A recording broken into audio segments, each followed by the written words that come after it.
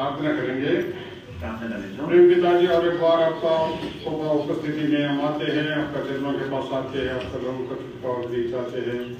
हम मिलकर आपको आराधना करने के लिए हमारा हृदय को तैयार करें आपका वचन हमें दीजिए प्रभु जी।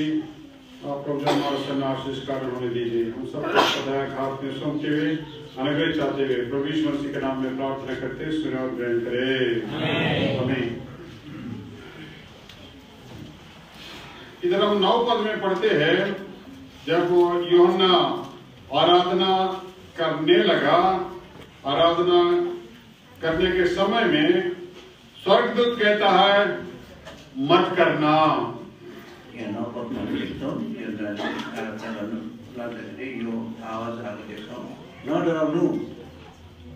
मत करना आराधना नहीं करना।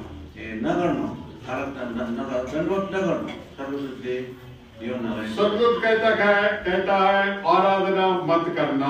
सर्वदूतले भन्दैछ आराधना नगर्नु ना करनो? आराधना ना करना क्या? आराधना नहीं नहीं करने के लिए स्वर्गदूत योहन्ना से कहता है। सर्वदूतले यो नलाई आराधना नगर्नु भनेर भन्दैछ नहीं करने का मतलब है आराधना नहीं करने का विषय भी हम जानना चाहिए। नै गर्नुको मतलब नगर्नुको मतलब चाहिँ आराधना किन गर्नु हुँदैन भन्ने कुरा पनि हामी जान्नुपर्छ कैसा हम आराधना नहीं करना? कस्तो आराधना चाहिँ हामीले गर्नु हुँदैन किसको हम आराधना नहीं करना? कसलाई चाहिँ आराधना गर्नु हुँदैन ये विषय हम जानना है।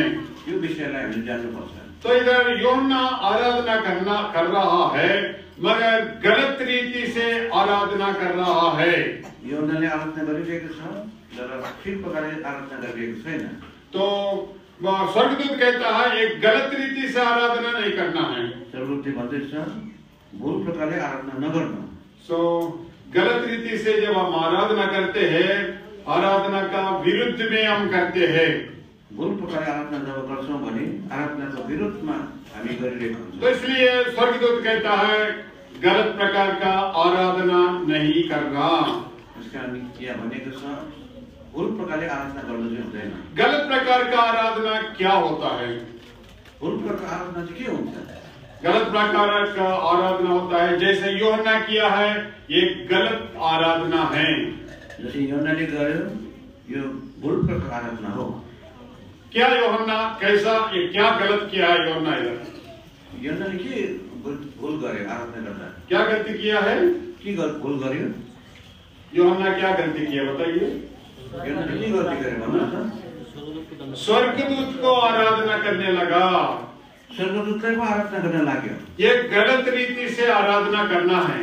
यो भुल प्रकारले आराधना गर्नु हो। कितना महान भी हो कितना प्रकाशमान भी हो कितना शक्तिमान भी हो लेकिन स्वर्गदूत को हम आराधना नहीं करने का है।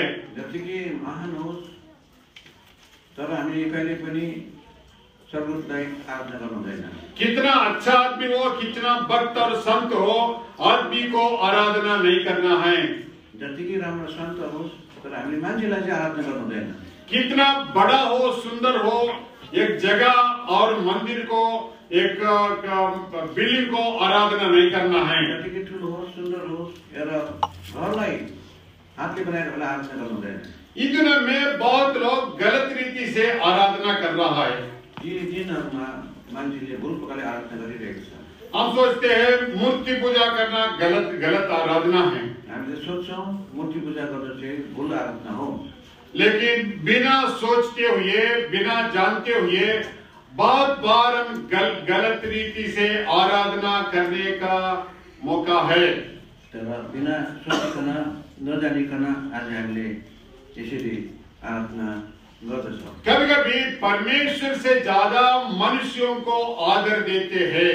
कतिपल्ट हामीले परमेश्वरलाई भन्दा ज़्यादा मान्छेलाई आदर गर्छौँ परमेश्वर का ज़्यादा संत लोग उनको भक्त लोग उनको आदर देते हैं। परमेश्वर भन्दा सन्तहरूलाई मान्छेहरूलाई हामी के गर्छौँ आदर दिन्छौँ और कभी कभी स्वर्गदूत जो प्रकाशमान है उनको हम ज़्यादा आदर देना चाहते हैं। प्रकाशमान एक जगह को बहुत महत्वपूर्ण देते हैं हम लोग। हामीले कोही बेला जग्गालाई पो महत्त्व दिन्छौँ। हम सोचते हैं जगह परमेश्वर का आराधना मंदिर है इस जगह बहुत पवित्र है इस जगह की जगह के लिए बहुत महत्वपूर्ण देते हैं हम लोग। हामी सोध्छौँ यो घर या एकदमै प्रभुको मंदिर हो घर हो यसलाई हामी स्थान दिन्छौँ हमारी जगह में हैदराबाद के नज़दीक में एक बड़ा चर्च बनाया है। वो एशिया में फ़र्स्ट बोलते हैं। बहुत सुंदर चर्च बनाया है। वो चर्च को लोग जाके और अ, अ, नमस्कार करके आते हैं। हैदराबादमा एसियामा सबभन्दा ठुलो चर्च बनाएको छ मान्छेहरू त्यहाँ गएर त्यसलाई नमस्कार गर्छ त्यसलाई आदर गर्छ उधर जाके कुकरी काटते हैं उधर जाके बाल निकालते हैं उधर जाके वो क्या नारियल फोड़ते हैं। त्यहाँ गएर तिनीहरूको रीति अनुसार अ, नरिवल फुटाउँछ केस काट्छ भेड़ बकरी काटते हैं। काट्ने काम बलि गर्ने काम गर्छ और क्या क्या अर्पण करते हैं वो करते हैं किसको? वो वो मंदिर को करते हैं लोग। दान क्योंकि वो मंदिर बहुत बड़ा अच्छा सुंदर मंदिर है चर्च एकदमै एकदम ठुलो आजकल हमारा कलिसिया सब में भी बहुत लोग मंदिर को बहुत सुंदर बनाने लगा अहिलेको हामी देख्छौँ प्रभुको लोकहरूले पनि आज चर्च एकदम सुन्दर बनाउन थालेको छ बहुत खर्च लगाते मंदिर को बिल्डिंग बनाने में यो जुट्टेलाई जग्गा बनाउँदा चर्च बनाउँदाखेरि एकदमै बेसी खर्च गर्छ ए, लेकिन ये परमेश्वर का घर है ये इसलिए बहुत अच्छा खर्च करना है। परमेश्वर का घर है बहुत सुंदर बनाना है। परमेश्वर का घर है बड़ा बनाना है। परमेश्वर का बनाना है घर है कीमती बनाना है। यो परमेश्वर घर हो सुन्दर बनाउनुपर्छ परमेश्वर घर हो एकदम ठुलो बनाउनुपर्छ बडो दाम हालेर खर्च गरेर बनाउनुपर्छ ये परमेश्वर का घर है ये परमेश्वर घर इसको बहुत आदर देते हैं। यो परमेश्वर घर परमेश्वर घरलाई पो आदर दिइरहेको हुन्छ। बिना जानबूझ के हम गलत आराधना करते हैं। नजानिकन हामीले भुल प्रकारले आराधना गरिरहेको हुन्छौँ। तो एक जगह को हम पर ज़्यादा महत्वपूर्ण नहीं सोचना है। हामीले सोच्नु हुँदैन। एक। आदमी को जब महत्वपूर्ण ज़्यादा महत्वपूर्ण नहीं सोचना है। व्यक्तिलाई महत्त्वपूर्ण सोच्नु हुँदैन। और कोई परमेश्वर से ज़्यादा महत्वपूर्ण नहीं सोचना है। परमेश्वरभन्दा ठुलो स्थान महत्त्वपूर्ण सोच्नु हुँदैन स्थान दिनु हुँदैन। जब पढ़ने का ज़रूरत नहीं योना चार अध्याय में समरी स्त्री ने प्रभु यीशु मसीह से जब बात करता था वो प्रभु वो, वो स्त्री कहता है आप हम तो इस पहाड़ पर आराधना करते हैं। तुम लोग बोलते हैं यरूशलेम में आराधना करना है। यो नचार अध्यायमा सामने स्त्रीले भन्छ हामी चाहिँ यो पहाडमा आराधना गर्छौँ। तिमीहरू चाहिँ यरुसलेममा मन्दिरमा आराधना गर्छौँ। मगर प्रभु यीशु मसीह कहता है यरूशलेम में नहीं और ये पहाड़ में भी नहीं समय आ रहा है।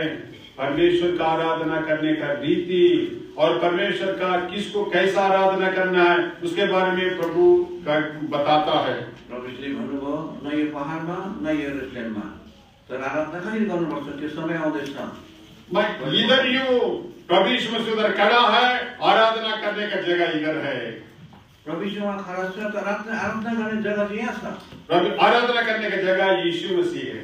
आराधना गर्ने जग्गा चाहिँ यीशु मसीह यीशु मसीह हम आराधना का योग्य है। यीशु मसीह नै आराधनाको योग्य हो एक जगह योग्य नहीं है। त्यो जग्गा योग्यको एक आदमी योग्य नहीं। व्यक्ति योग्यको छैन कितना बड़ा महान हो वो सब योग्य नहीं। केवल परमेश्वर जो सृजनहारा है वही हमारा आराधना का योग है। खालि परमेश्वर जो सृजनाहार तो हमेशा मैं बोलता हूँ जब हम आराधना में आते हैं आराधना करने के समय में जिसको हम आराधना करते हैं तीन प्रश्न हमारा सामने रहना है। हामी सधैँ म भन्ने गर्छु जो आराधना गर्दाखेरि तिन प्रकारले हामीले आराधना गर्नुपर्छ तीन प्रकार के प्रश्न हमारा सामने आना है। तिन प्र- प्रश्न हाम्रो अगाडि आउनुपर्छ जिसको हम आराधना करते हैं वो कौन है? जसलाई हामी आराधना गर्छौँ उहाँ चाहिँ को हुनुहुन्छ जिन जो जो जिसको हम आराधना करते हैं उनके साथ मेरा रिश्ता क्या है? जसलाई हामी आराधना गर्छौँ त्योसँग मेरो सम्बन्ध के छ और जिसको मैं आराधना करते हैं वो मेरे लिए क्या किया है? आराधना गर्छु उहाँले के के के गरे वो कौन है? ऊ को हुनुहुन्छ और उससे इनके साथ मेरा रिश्ता क्या है? उसँग मेरो सम्बन्ध कस्तो छ मेरे लिए क्या किया है? मेरो लागि के के उहाँले गर्नुभएको छ इन विषयों को ध्यान करते हुए हम आराधना करना है। ये विषयलाई हामीले जानेर आराधना गर्नुपर्छ तो पहला विषय आराधना क्यों करना है हम लोग? पहला विषय आराधना किन गर्नुपर्छ दो प्रश्न और दो विषय हम देखेंगे भी आराधना क्यों करना एक प्रश्न है और दूसरा प्रश्न आराधना कैसा करना?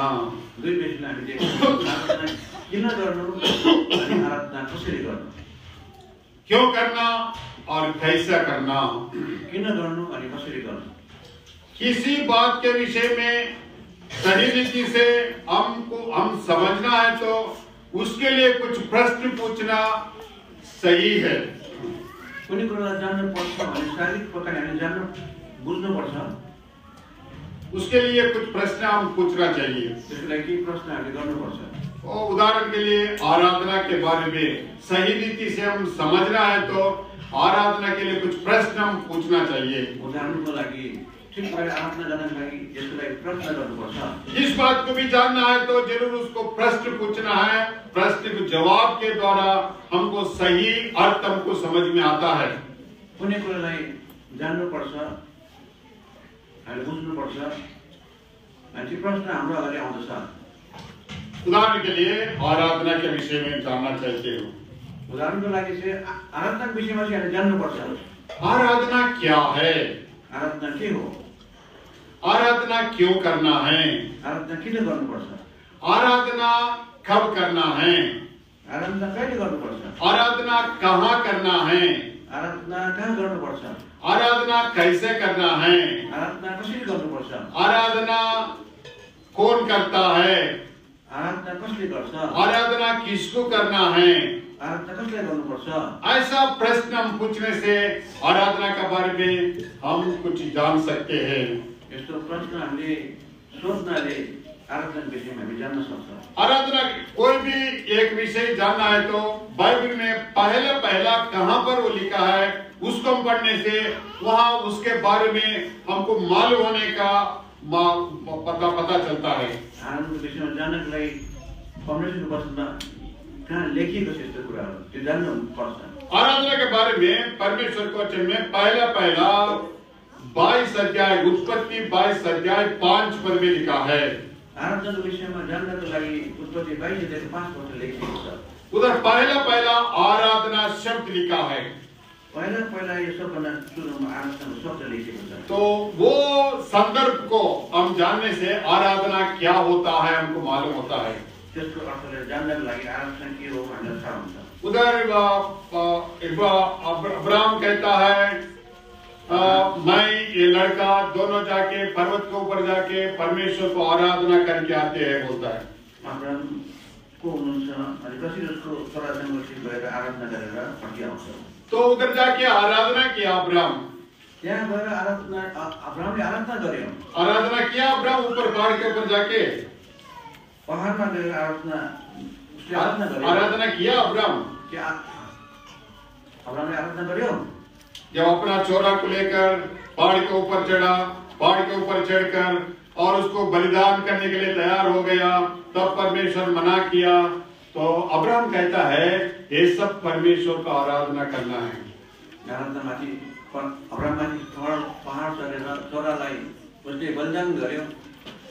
त तो आराधना का मतलब वहाँ पूरा अर्थ हमको समझ में आता है। आराधनाको मतलब यो कि समर्पण कुराले याद तो ये सात प्रश्न को जवाब उधर हमको मिलता है। यो जवाब तो आराधना के अर्थ उधर मिलता है आराधना किसको करना मिलता है कैसा करना मिलता है क्यों करना मिलता है कहाँ करना मिलता है कब करना मिलता है ये सब आराधना के बारे में उधर सारे जवाब उधर हम पढ़ने से मिल जाता हूँ। प्रकारको प्रश्नको उत्तर हामी पाउन सक्छौँ आराधना कहाँ गर्नुपर्छ कसरी गर्नुपर्छ कसलाई गर्नुपर्छ किन गर्नुपर्छ आज ये दो प्रश्न हम थोड़ा थोड़ा हम देखेंगे आराधना हम क्यों करना आराधना कैसा करना बताइए आराधना हम क्यों करना है यो आराधना किन गर्नुपर्छ क्यों करना है किन गर्नुपर्छ उसीलिए तो परमेश्वर हमको बनाया है आराधना करने के लिए ही परमेश्वर हम हम सबको बनाया है। त्यही कारणले परमेश्वरले हामीलाई सृष्टि गर्नुभयो आराधना गर्नको लागि नै परमेश्वरले हामीलाई सृष्टि गर्नुभयो कोई वस्तु है जिस काम के लिए वो बनाया है उस काम करना पड़ता है। कुनै कुरो वस्तु बनाएपछि त्यो वस्तुले काम गर्नुपर्छ तो मनुष्य को परमेश्वर बनाया कुछ काम के लिए बनाया है वो क्या है? परमेश्वर को स्तुति करना और महिमा करना।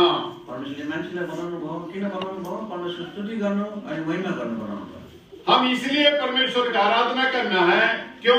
उसीलिए परमेश्वर हमें बनाया है। हामीले यसका आराधना गर्नुपर्छ कि परमेश्वरले नै हामीलाई बनाउनु भएको हो तो परमेश्वर हम परमेश्वर का आराधना करने का कारण ये है हम वो आराधना करने के लिए नहीं तो परमेश्वर को महिमा करने के लिए और परमेश्वर को प्रेम करने के लिए हम बनाए गए हैं।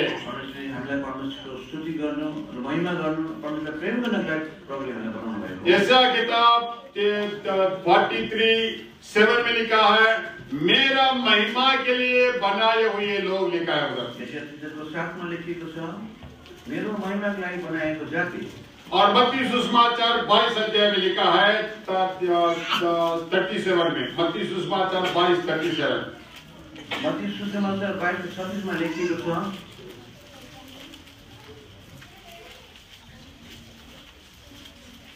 उधर लिखा है आपका पूरा हृदय से पूर्ण आत्मा से पूर्ण मन से और परमेश्वर का आपका प्रभु को प्रेम करना है। पुरा आत्माले पुरा मनले पुरा शक्तिले उहाँलाई प्रेम गर्नु। परमेश्वर को प्रेम करने का मतलब है परमेश्वर को आराधना करना है। परमेश्वर प्रेम गर्नुको मतलब हो परमेश्वरलाई आराधना पूरा हृदय से परमेश्वर को प्रेम करने वाले परमेश्वर को आराधना करते हैं। पुरा प्रेम आराधना गर्छ। केवल कुछ वचन मुँह के द्वारा मुँह के द्वारा बोलने के द्वारा आराधना नहीं होता है मगर पूरा हृदय से प्रभु को प्रेम करना ही आराधना होता है। खालि मुखले भनेर मात्रै यो आराधना हुँदैन तर पुरा हृदयले प्रेम गर्ने कुराले चाहिँ परमेश्वर क्योंकि प्रभु एक बात करे ये लोग तो मुँह के द्वारा मुझे आराधना करता है इसका दिल मुझसे दूर है बताता है। भन्नुभयो यो जातिले खालि ओठले मात्रै मलाई आदर गर्छ तर यिनीहरू हृदय मदेखि टाढो मुँह के द्वारा नहीं पर पूरा हृदय से प्रभु को प्रेम करना है। प्रभुलाई प्रेम जब प्रभु के लिए हमारा हृदय में प्रेम बन जाता है वो प्रेम जो भरा हुआ हृदय से जो कुछ प्रभु के लिए हम करते हैं वो आराधना बन जाते हैं। हृदय प्रेमले हाम्रो भरिनुपर्छ त्यो हृदयले भरेको प्रेमले चाहिँ हामीले त्यो आराधना गर्नुपर्छ तो इसलिए प्रभु उस कारण से प्रभु का मतलब बनाया है तो हम प्रभु को आराधना करना है। त्यो कारणले गर्दा प्रभुले हामीलाई बनाउनु भयो त्यही कारण हामीले आराधना सारे सृष्टि परमेश्वर का आराधना करते हैं। सारा सृष्टिले नै परमेश्वरको आराधना गर्छ देखिए भजन संहिता वो उन्नीस अध्याय एक से तीन पद तक।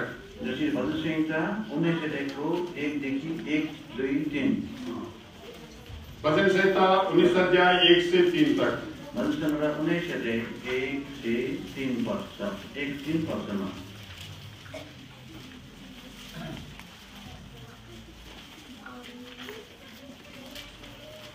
कसैले पढ्नु आकाशले परमेश्वरको महिमाको वर्णन गर्छ अनि आकाश मण्डलले उहाँको हातको काम देखाउँछ दिनले दिनसित बात गर्छ अनि रातले रातलाई ज्ञान प्रकट गर्छ न कुनै बोली छ न भाषा जहाँ तिनीहरूको आवाज़ सुनिँदैन। तो सारी सृष्टि परमेश्वर को महिमा करता है। सबै पृथ्वीले सृष्टिको थोकले परमेश्वरको महिमा गर्छ। ये परमेश्वर को महिमा करने वाला सृष्टि को देखकर हम परमेश्वर को आराधना करना है। हामीले सृष्टि गरेको यो सृष्टिले परमेश्वरको महिमा गर्छ भने हामीले त्यो देखेर चाहिँ जैसे देखिए रोमियो का पत्री उसका एक अध्याय 19 से लेकर 21 तक पढ़िए। रोमियो का पत्री एक अध्याय 19 से लेकर 21 तक। रोमिनको पत्री उन्नाइस एक अध्याय हामी पढ्छौँ 21 एकतिससम्म उन्नाइस बिस एक्काइस किनभने परमेश्वरको विषयमा जे जान्न सकिन्छ त्यो तिनीहरूमा प्रकट भएको छ किनकि परमेश्वरले त्यो तिनीहरू कहाँ प्रकट गर्नुभएको छ किनभने संसारको उत्पत्तिदेखि नै उहाँका नदेखिने गुणहरू अर्थात् उहाँका अनन्त शक्ति र परमेश्वरत्व छर्लङ्ग देखा परेका छन् सृष्टि गरिएका कुराहरूद्वारा जानिएका छन् यसकारण तिनीहरूसँग कुनै बहाना छैन परमेश्वरलाई जानेन भने तिनीहरूले उहाँलाई परमेश्वरलाई चाहिँ महिमा दिएनन्। तथा धन्यवादी नै भए तर तिनीहरू आफ्ना विचारहरूमा बेकममा भए र तिनीहरूको मूर्ख हृदय अँध्यारो भयो। तो सृष्टि जो आराधना करता है उसको देखकर हम ज्ञान पाना है हम परमेश्वर को आराधना करने के लिए सीखना है। सृष्टिलाई देखेर हामीले त्यो ज्ञानलाई प्राप्त गर्नुपर्छ। अनि हामीले आराधना गर्नुपर्छ। परमेश्वर को देखकर सृष्टि आराधना करता है। परमेश्वर देखेर सृष्टिले आराधना गर्छ सृष्टि को देखकर हम परमेश्वर का आराधना करना है। सृष्टिलाई देखेर आज हामीले परमेश्वरको आराधना गर्नुपर्छ तो सृष्टि सब परमेश्वर को भलाई देखकर सृष्टि परमेश्वर का आराधना करता है। हमको दिखाता है परमेश्वर कितना महान है। सृष्टि परमेश्वर का मानता को देखता है और हमको दिखाता है परमेश्वर कितना महान है। सृष्टिले परमेश्वरको महानतालाई देखाउँछ अनि हामीलाई पनि देखाउँछ हम क्या करना है? परमेश्वर को महान समझकर महिमा करना है। जैसा सूरज का आ, आ, क्या सूरज का लाइट और चंद चंद्रमा के ऊपर गिरता है वो चंद्रमा से हमारे पास आता है। हम अरे चंद्रमा कितना सुंदर है हम बोलते हैं। वैसा परमेश्वर का महानता सृष्टि जानता है हमको दिखाता है परमेश्वर का मानता कितना बड़ा है। और हम ये महानता के कारण परमेश्वर को महिमा करना है। सूर्यको ज्योति चन्द्रमामा पर्छ अनि चन्द्रमाले त्यो उज्यालो दिन्छ वो उजाला हम हम दे, हम देखकर अरे कितना महान है बोलते हैं। तर त्यो उज्यालो देखेर हामी चाहिँ त्यो कति महान हो भन्ने कुरो हामीले चन्द्रमालाई त्यो स्थान दिन्छ। वो उजाला चंद्रमा का नहीं होता है। त्यो उज्यालो चन्द्रमाको छैन। सूरज का उजाला है। त्यो उज्यालो हो? जो सृष्टि में जो बहुत सुंदर सुंदर विषय आप देखते हैं ये सब सृजनहारा का उजाला है। सृष्टिमा धेरै महान महान कुराहरू हामी देख्छौँ। यो सृष्टिकर्ता परमेश्वरको उज्यालो हो। बहुत लोग इस सृष्टि को देखकर सृष्टि को आराधना करते हैं और सृष्टिकर्ता को नहीं करते हैं। जैसा योहन्ना स्वर्गदूत को देखा अरे कितना महान है स्वर्गदूत! कितना प्रकाशमान है! कितना शक्तिमान है! स्वर्गदूत को आराधना करने लगा। जस्तै देख्यो कति महान कति प्रचलित। अनि सर्वदूतलाई उसले लेकिन स्वर्गदूत को जो बनाया है वो परमेश्वर को हम आराधना करना है स्वर्गदूत को नहीं करना है। जुन सर्वदूतलाई परमेश्वरले सृष्टि गर्यो सृष्टि गर्ने परमेश्वरलाई हामीले आराधना गर्नुपर्छ सर्वदूतलाई होइन तो इसलिए आराधना करने का हम पूरा हृदय से क्या अर्पण करने का विषय परमेश्वर वचन में लिखा है।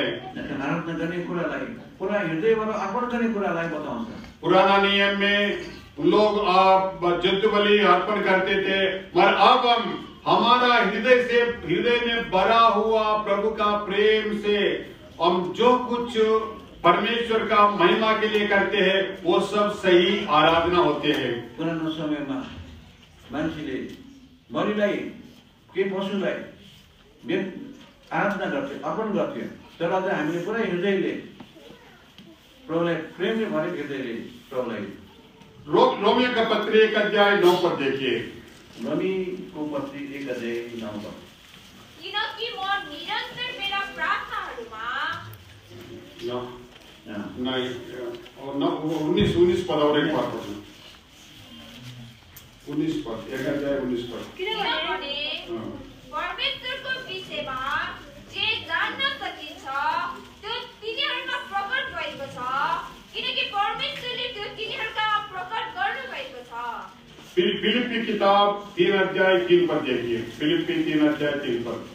फिलिप्पी तिन अध्यायको किनभने हामी आत्मामा परमेश्वरको उपासना गर्नेहरू ख्रिस्ट यस्तोमा आनन्द मनाउने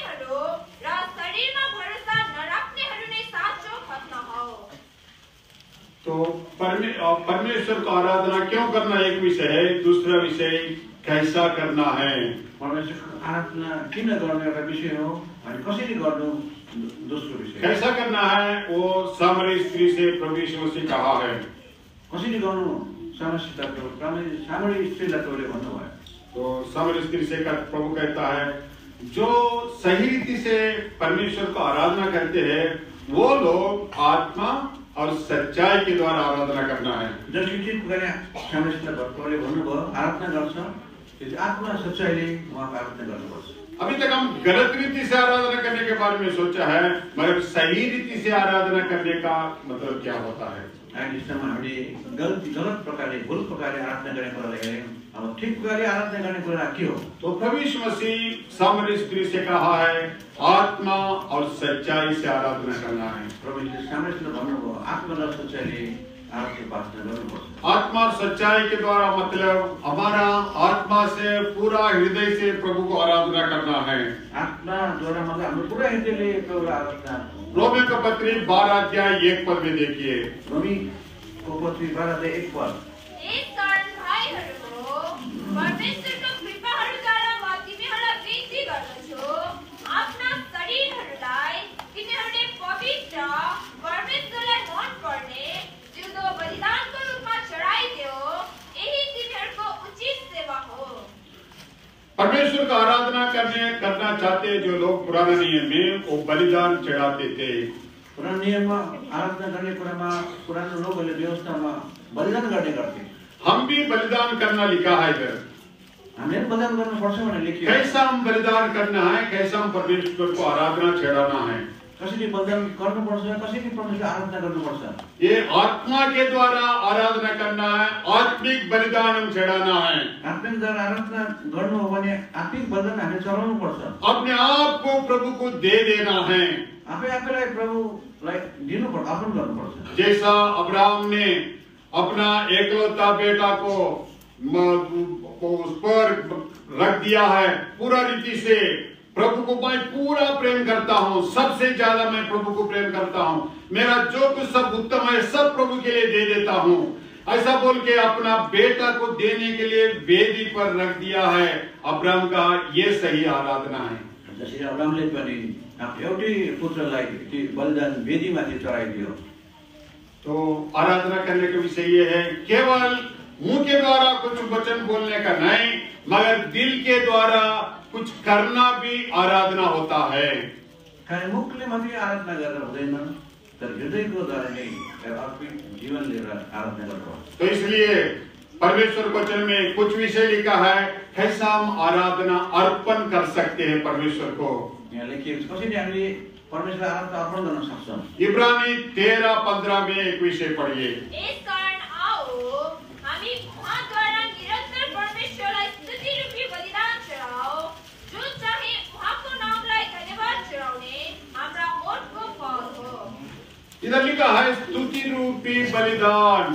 स्तुति रूपी बलिदान स्तुति कैसा ओरतोल के द्वारा जीव के द्वारा मुँह के द्वारा हम बलिदान चढ़ा सकते हैं। यो स्तुतिको बलिदान ओठबाट जीवबाट मुखबाट हामीले केवल मुँह से इधर से आने वाला नहीं वो प्रेम से प्रभु का प्रेम से भरा हुआ दिल से हृदय से निकला हुआ ये वचन स्तुति ये परमेश्वर का ऐसा परमेश्वर का आराधना आत्मा और सच्चाई के द्वारा आराधना करना वही होता है। खालि शब्दबाट मात्रै मुखबाट निस्किने कुरा होइन हृदय प्रेमले भरिएको हृदयबाट निस्किनुपर्छ परमेश्वर के लिए प्रेम से भरा हुआ हृदय से जो निकला हुआ शब्द ये अर्पण करना ये सही बलिदान है वो सही आराधना है। परमेश्वरलाई पुरै हृदयले प्रेम गरेको अवस्थामा हामीले जब चलाउँछौँ यो ठिक आराधना हो। और इब्रानी तेरह अध्याय सोलह पद में और एक विषय लिखा है। तर सोह्र पद तर भलाइ गर्न र बाँडचुँड गर्न नबिर्स किनकि यस किसिमका बलिदानहरूसँग परमेश्वर खुबै प्रसन्न हुनुहुन्छ ये भी अर्पण है ये भी बलिदान है। क्या अर्पण है ये? यदि बलिदान हो यदि अर्पण गर्ने कुरा के अर्पण हो ये? भी आराधना है। यदि आराधना हो क्या आराधना है भाई? के आराधना हो क्या क्या आराधना है कैसा करना आराधना होता है? मुँह के द्वारा ओंटों के द्वारा स्तुति अर्पण करना ये भी आराधना होता है। ये भी आराधना होता है। ये क्या आराधना ये कैसा है? क्या करना? क्या करना है? हाँ? भलाई करना। भलाइ भलाई करना भी परमेश्वर को आराधना करना होता है। भलाइ गर्नु पनि परमेश्वरको आराधना। हो भलाई करना आराधना होता है। भले काम करना आराधना होता है। असल काम गर्नु यो आराधना क्योंकि परमेश्वर के वचन में मत्ती सुषमाचार पाँच अध्याय में सोलह पद में लिखा है। मत्ती सुषमाचार पाँच अध्याय पढ़िए। महिमा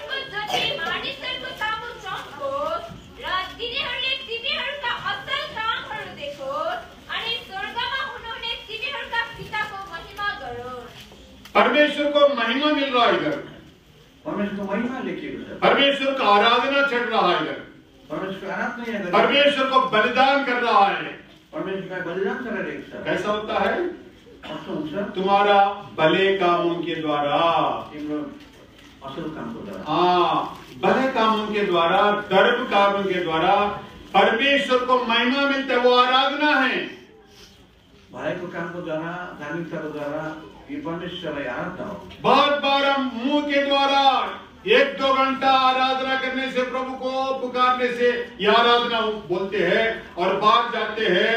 बहुत किसी लोगों को कुछ संकट में है दुख में है उनको सहायता करने के लिए उनसे अच्छा बात करने के लिए जहाँ तक हमको सहायता कर सकता है वो करने के लिए पीछे हटते हम लोग। हामीले मुखले शब्दले मात्रै गरिरहेका हुन्छौँ तर हामीले जुन प्रकारले आवश्यकतामा परेकोलाई खाँचोमा परेकोलाई कष्टमा परेकोलाई कुन प्रकारले हामीले सहायता गर्नु त्यो कुरो हामीले गरिरहेको हुँदैन रवि ने कहा गड्ढे में गिरा हुआ अपना पशु को विश्राम दिन में कोई आप लोग ऊपर नहीं उठाते क्या? जब कोही तिमीहरूको पशु कुनै गड्डामा गिरेको छ भने खाडलमा के तिमीले उठाउँदैन र विश्राम दिन प्रभु के लिए आराधना का दिन है वो कुछ करना नहीं। मगर विश्राम दिन में वो गला को न पशु को गिरे हुए पशु को ऊपर उठाना प्रभु का आराधना होता है। यिनीहरूले खालि दिनलाई मानेर नै दिनको कुरा गर्थ्यो भने तर त्यो खाटो र पशुको पशुलाई बाहिर निकाल्नु यो बिना भलाइ यो चाहिँ आराधना हो परमेश्वर को इस मुँह से आराधना करते हैं परमेश्वर का स्वरूप में जो लोग हैं उनके लिए कोई ख्याल नहीं देते हैं वो आराधना थोड़ी होते हैं परमेश्वरलाई आराधना जो परमेश्वर स्वरमा बनेको मान्छेलाई जो हामीले के गर्दैनौँ कोही सहायता गर्दैनौँ तो ये दूसरा तरीका आराधना है भले कामों के द्वारा दूसरों को भलाई करने के द्वारा जहाँ तक हम कर सकते हैं वहाँ तक भलाई करने के द्वारा हम प्रभु को आराधना करते हैं। दोस्रो गर्छौँ त्यो चाहिँ आराधना हो। ये भी एक अर्पण है अर्पण है पर प्रभु को अर्पण चढ़ाने का ये विषय और एक तरीका है। यो एउटा अर्पण हो यो तरिका हो। वो प्रवर्स में लिखा है जो गरीब लोगों को अ, सहायता करता है। परमेश्वर को क्या देता है?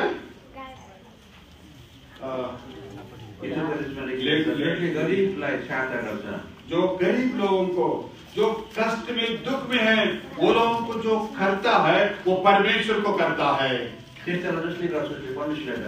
इसका मतलब जो जो भलाई काम दूसरों को हम करते हैं वो हम परमेश्वर को करते हैं। जो दुष्ट व्यक्तिलाई हामी गर्छौँ त्यो परमेश्वरलाई हामी गर्छौँ। प्रभु कहता है, मैं जेल में था तुम लोग मेरे पास आया। मैं बीमार में आया, तुझे देखने के आया। मैं खाना नहीं खाया था, तुम खाना दिया। मैं कपड़ा नहीं था तो कपड़ा दिया। किसको दिया? जो उसको नहीं था, उसको दिया। मेरे लिए दिया, मुझे दिया। परमेश्वर कहता है, मुझे दिया। ये आराधना होता है। प्रभुले भन्नुभयो न्याय गरिएनमा म भोको थिएँ मलाई खिलायो म जेलमा थिएँ मलाई भेट्न आयो म बिमारी थिएँ मलाई हेर्न आयो म नाङ्गो थिएँ मलाई पहिरायो कसलाई परायो? ये भलाई करने का काम। परायो, प्रभुलाई गरेको। भलाई करने का काम परमेश्वर को महिमा करने का काम है। भलाइ गर्ने काम चाहिँ परमेश्वरको महिमा गर्ने काम ये और एक रीति का आराधना है। एक तो मुँह से अर्पण करना एक तो हाथों से अर्पण करना हाथों से प्रभु को बलि चढ़ाना। हाथों के द्वारा दूसरे लोगों को भलाई करते हैं ये परमेश्वर का आराधना होता है।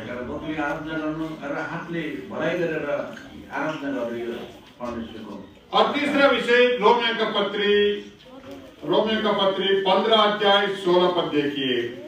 तेस्रो विषय रोमी पन्ध्रको सोह्र पद अन्य जाति रूपी भेटी चाहिँ पवित्र आत्माद्वारा पवित्र गरिएकोमा ग्रहण योग्य होस् भनेर पुजारीले झै परमेश्वरको सुसमाचारको सेवा कर गर्दै म अन्य जातिहरूका निम्ति यीशु ख्रिस्टको सेवक बने। फिलिपी दो अध्याय सत्रह पद फिलिपी दुईको सत्र अँ, तिनीहरूको विश्वासको बलि र सेवामाथि म आफू अर्कादै चढाएँ भने भने म आनन्द गर्दछु र तिनीहरू सबैसँग आनन्द मनाउँदछु। तो इधर परमेश्वर को कुछ देने का चीज़ क्या दे रहे हो परमेश्वर को यहाँ कोही पर कुनै कुरो पढ्न दिएको छ के दिइरहेको छ? क्या इन लोग परमेश्वर को दे रहा है। परमेश्वरले यिनीहरूले के दिइरहेको छ? परमेश्वर को आराधना का मतलब देना है प्रार्थना मतलब मांगना है लेना है। आराधना मतलब देना है। परमेश्वरलाई आराधना गर्नु मतलब उसलाई दिनु। प्रार्थना गर्नु मतलब के माग्नु मैं इधर परमेश्वर को दे रहा क्या देते हैं इधर परमेश्वर को? परमेश्वर दिइरहेको छ के दिइरहेको छ आफैलाई दिँदैन हम्म? आफैलाई दिँदैन अपने आप को दे देना एक है और विश्वासी लोगों को आत्मा को। दूसरे जो नरक में जो नाश होने वाला आत्मा को प्रभु के ओर फिरा के आत्मा को प्रभु को देना है। आप अब आफूलाई दिनु जुन आत्माहरू नरकहरू गरेको छ तिनीहरूलाई जो नाश होने वाला आत्मा को बचा के वो आत्मा को प्रभु को दे देना यह आराधना होता है। नाश हुँदैको आत्मालाई बचाएर प्रभु पुर्याउनु सुसमाचार प्रचार करना और गवाही देना आत्माओं के लिए जो उनके लिए भलाई करना आत्मिक जीवन के लिए लोगों को भलाई करना ये प्रभु का आराधना होता है। सुसमाचार प्रचार गर्नु। या यो गवाही देना। गवाई दिनु यो आराधना तो ये ये सब कुछ भी नहीं करते हैं केवल मुँह के द्वारा कुछ बात बोलते आराधना नहीं होते हैं। प्रभु को अर्पण करने का और महिमा करने का प्रभु को प्रेम करने का ये सब आराधना होता है। ये सब के द्वारा हम परमेश्वर का आराधना कर सकते हैं। प्रभुलाई प्रेम गर्नु यसरी सबै दिएर भलाइ गरेर यसले परमेश्वरको आराधना और फिलिपी चार अध्याय अठारह पद में हमें पीछे देखिए फिलिपी चार अठारह पद त्यही है पढ़ लीजिए अब मसँग सब थोक छन् र भरपूर भएको छु। तिमीहरूले एपाफ्रोडिस द्वारा पठाइएका यी कुराहरू पाएर म तृप्त भएको छु। यो मिठो वासना आउने सुगन्ध ग्रहणयोग्य बलि हो जो परमेश्वरलाई खुबै मनपर्छ इधर पौलुस कहता है परमेश्वर के लिए ग्रहण योग्य बलि है। ये भी बलि हो। परमेश्वर को सुगंधित और ग्रहण योग्य बलि है। क्या ये बलि है? परमेश्वर का अर्पण करने वाला बलि क्या है? परमेश्वर ग्रहण योग्य बलि हो परमेश्वर ग्रहण ग्रहणयोग्य बलि के हो इधर क्या ग्रहण योग्य बलि उन लोग वो फिलिपी में जो लोग रहते हैं वो लोग ऐसा बलि चढ़ाया इन लोग। वो बलि परमेश्वर को ग्रहण योग्य बलि है और सुगंधित बलि बलि है। क्या बलि है वो? फिलिपी यस्तो खालको बलि चलाइरहेको छ है ग्रहणयोग्य बलि या सुगन्धित बलि के बलि हो त्यो परमेश्वर के पसंदित बलि है।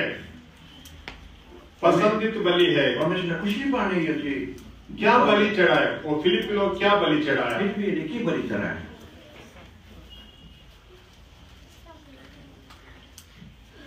अपने पास जो पैसा है जो वस्तु है वो जिनके पास नहीं उनको देने के लिए। और न तो सुसमाचार के लिए सेवका के लिए प्रभु का काम के लिए पैसा अपने पास जो कुछ है वो अर्पण करने का सेवा है। ये फिलिपीहरूले जो पैसा हुन्छ। परमेश्वरको सुसमाचारको लागि उनीहरूले अर्पण गरेर जो चढायो। प्रभु का नाम में जो देते हैं वो परमेश्वर को अर्पण लिखा है इधर प्रभुको नाममा जो दिन्छ त्यो चाहिँ परमेश्वरको लागि अर्पण। इसलिए हम बोलते हैं जब वो लोग हम दान लेकर आते हैं परमेश्वर को जो दान अर्पण करना चाहते हैं वो लोग अर्पण कर सकते हैं। अर्पण करना है बलिदान चढ़ाना है। कतिपल्ट दान लिएर आउँछ परमेश्वरलाई परमेश्वरलाई यो अर्पण गर्नुपर्छ ये अर्पण करना बलिदान करना है प्रभु को। अर्पण गर्नु चाहिँ परमेश्वरलाई वदन गर्नु हो मगर मुँह से तो हम बोलते हैं मगर हमारा हाथ ऐसा पकड़ लेते हैं वो सही आराधना नहीं होता है।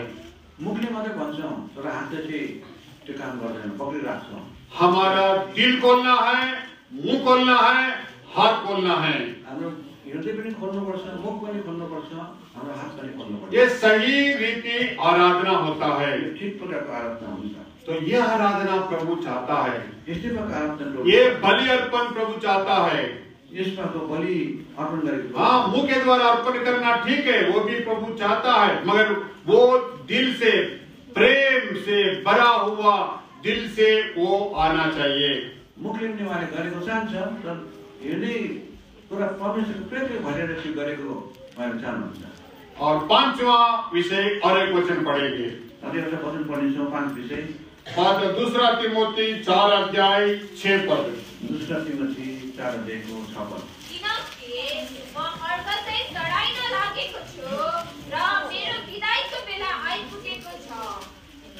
क्या अर्पण गर्दा पौलुस प्रभु के दास पौलुस इधर कुछ परमेश्वर का अर्पण कर रहा है। के अर्पण छ क्या अर्पण कर रहा है इधर? हाँ? प्राण अर्पण कर रहा है। प्राणलाई अर्पण गरिरहेको छ तो हमारे अपने आप को परमेश्वर को अर्पण करना है।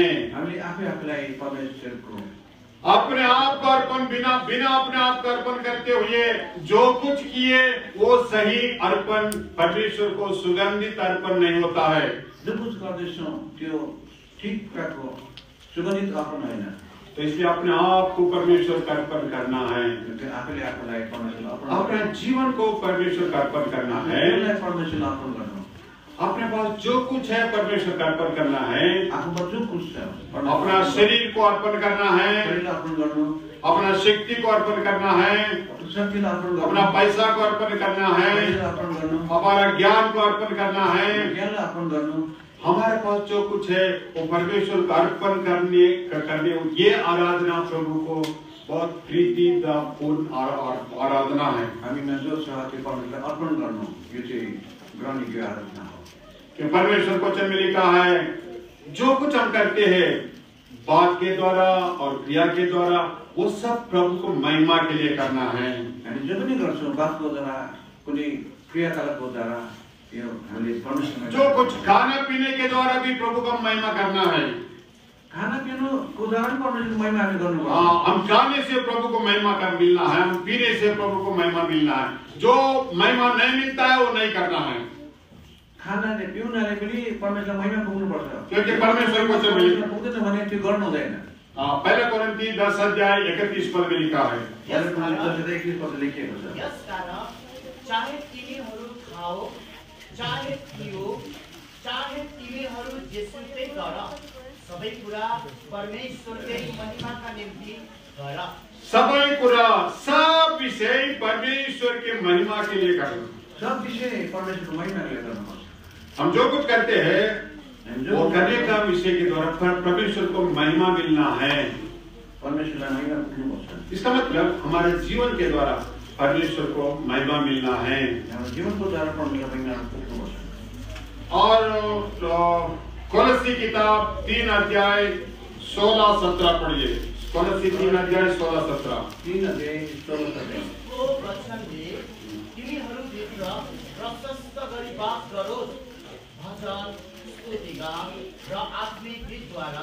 सारा बुद्धिसित एक अर्कालाई सिकाऊ र सम्झाऊ अनुग्रह साथ आफ्ना हृदयहरूमा प्रभुका निम्ति गाओ अनि वचनमा वा काममा तिमीहरू जे पनि गर्दछौ उहाँद्वारा परमेश्वर र पितालाई धन्यवाद चढाउँदै सबै कुरा प्रभु यीशुकै नाममा गर। अब बात करने से प्रभु को महिमा होना है काम करने से प्रभु को महिमा होना है गाना गाने से प्रभु को महिमा होना है जो कुछ करे उसके द्वारा प्रभु को महिमा मिलना है। जे पनि हामीले गर्छौँ त्यसको द्वारा परमेश्वर महिमा पुग्नुपर्छ कुछ लोग गाना गाते हैं प्रभु को महिमा नहीं मिलते गाने के द्वारा। पुग्दैन आजकल का लोग क्रिश्चियन लोग ऐसा गाना गाते हैं जैसा शैतान कूदते हैं ऐसा गाना गाते हैं।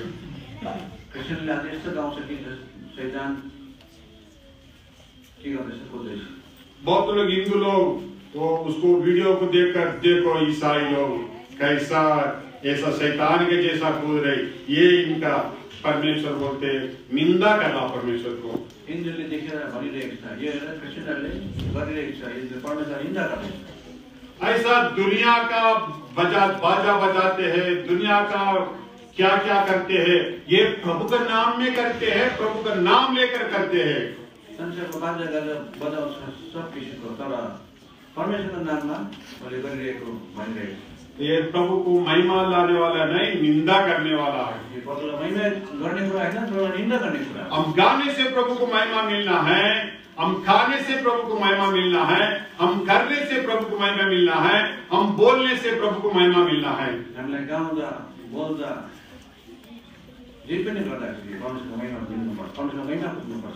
तो सही रीति से हम प्रभु को आराधना करें।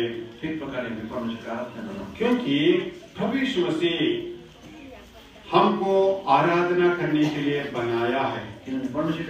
आराधना गर्नको लागि नै बनाएको हो प्रभु का महिमा के लिए परमेश्वर सब मनुष्यों को बनाया मगर हम वो उस स्थिति को खो गया पाप में गिर गया नरक में जाने वाले थे। परमेश्वर को महिमा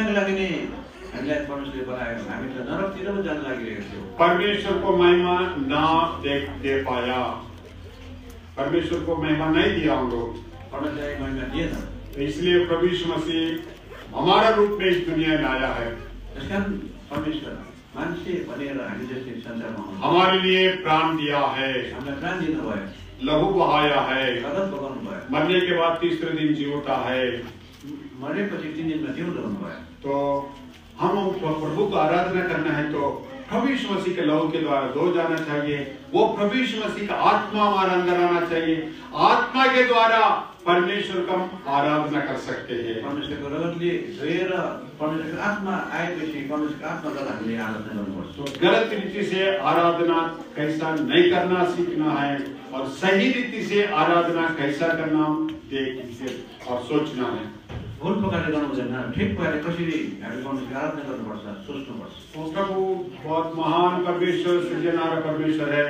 हमसे प्रेम किया है अपने आप को दे दिया है और सबको बनाया है हमको बनाया है। इतना महान परमेश्वर को हम याद करते हुए हम परमेश्वर का आराधना करेंगे। उहाँ परमेश्वर हुनुहुन्छ सृजना हुनुहुन्छ। हामी उहाँको हामी के के हामीले गर्नुभयो त्यो कुरा याद गरेर उहाँको